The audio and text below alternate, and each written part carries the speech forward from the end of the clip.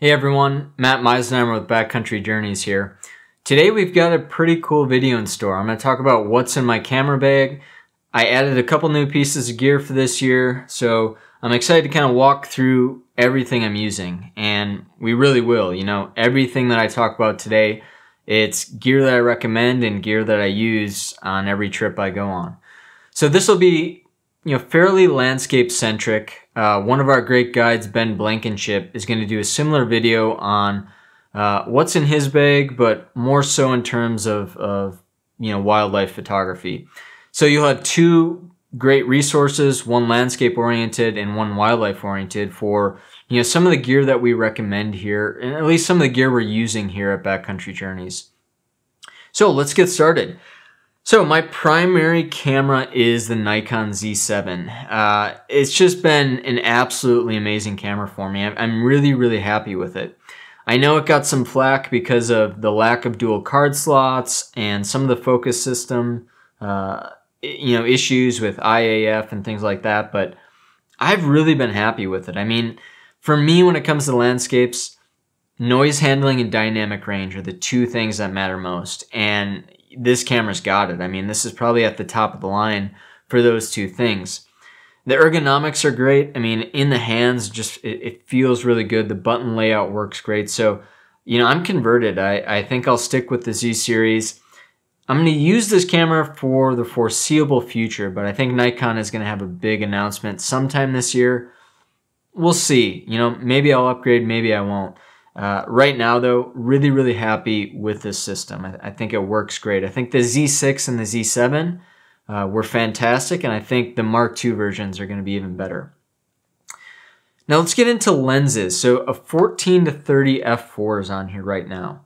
And you know, I wanted to spend some time on this lens because it's really the reason I switched from using a DSLR to this system. I was using a a D810, with the 14 to 24 f2.8, the DSLR version. And uh, it was great. I mean, the image quality is fantastic, but it's a bulbous front element. So I had to attach a huge filter system anytime I wanted to screw on a polarizer or use an ND filter. So it already weighs a lot. And now I had to add to the size and the weight of the lens. And it just, it really frustrated me.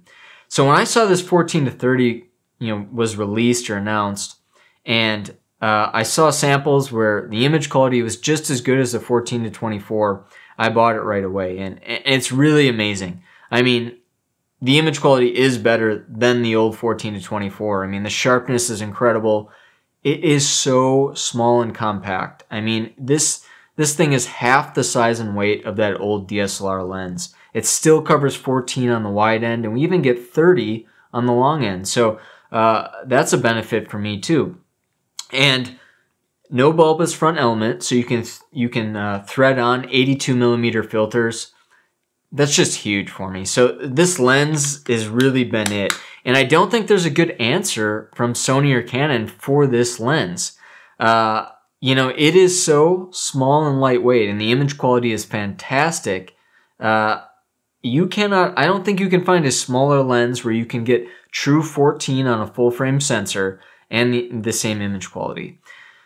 Now, the downside, of course, is it's f4. So if you're doing astrophotography or doing any low light shooting, you might wonder, you know, well, the new 14 to 24 just came out. It's got f2.8. You know, what, what do I decide? Or what, what should I go with? And for me, you know, the f4 is really a non-issue. Uh, I use a star tracker. So if I'm shooting at night, I can shoot long exposures at f4. I'm not worried about that additional stop. And uh, I, the, the size and weight and the portability is, is really the big selling feature.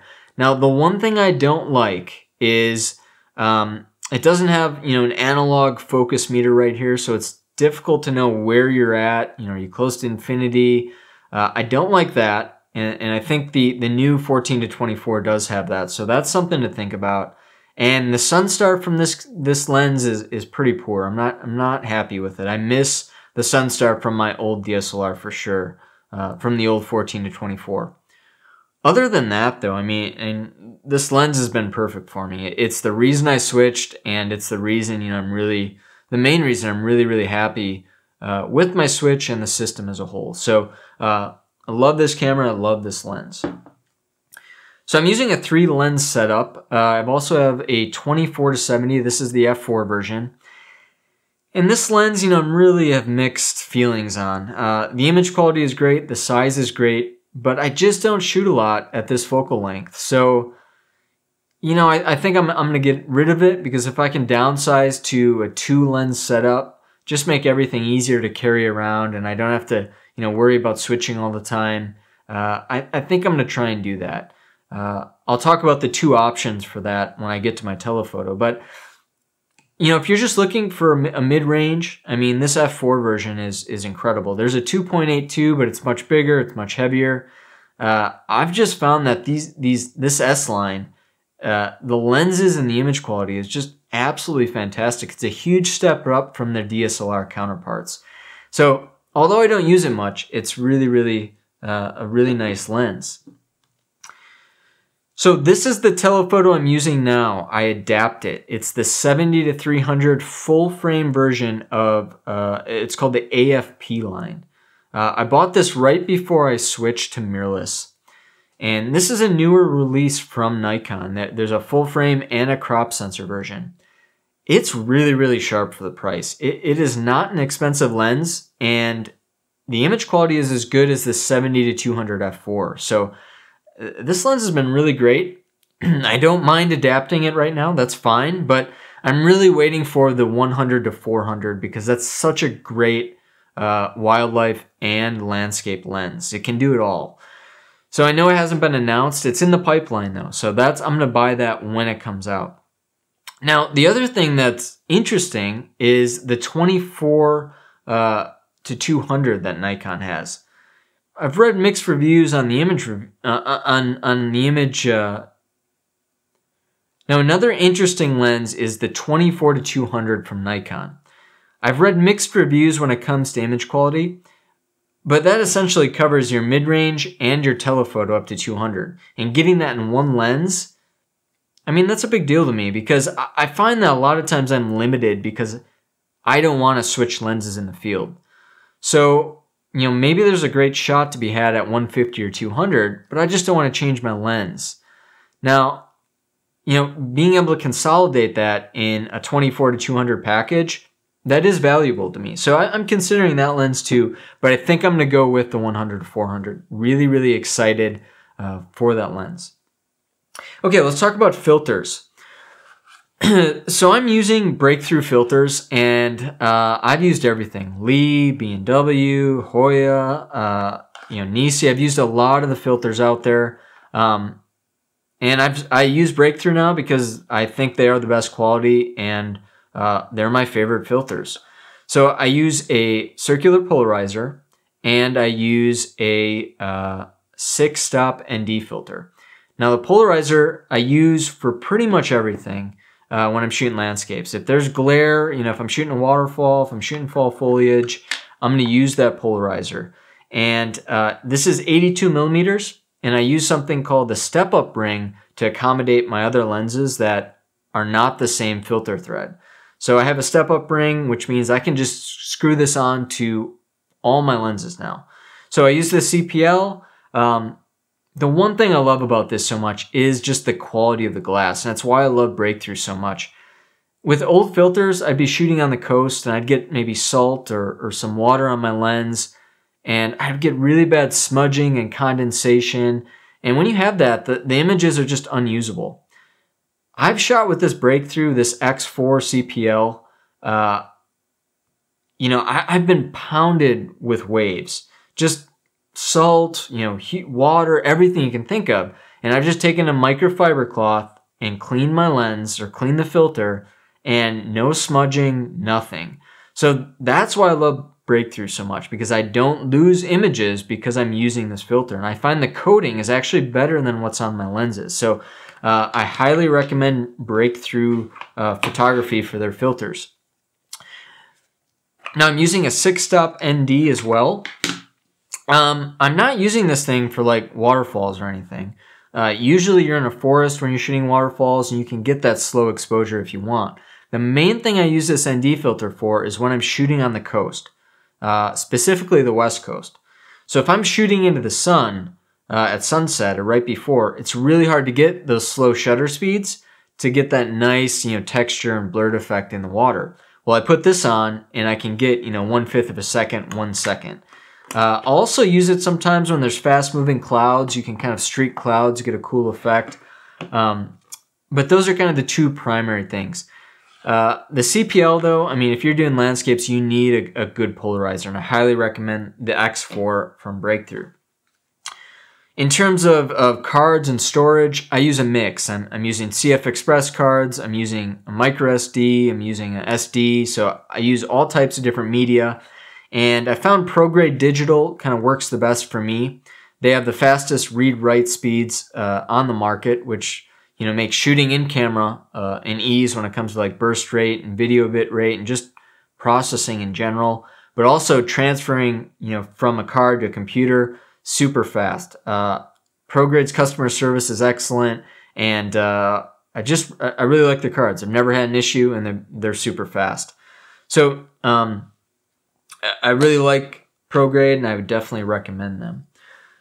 Now, I got a new piece of equipment for this year that I'm pretty excited about. So this is the Mavic 2 Pro, uh, the DJI drone. So uh, I just got this actually like a week ago. I am super excited for this.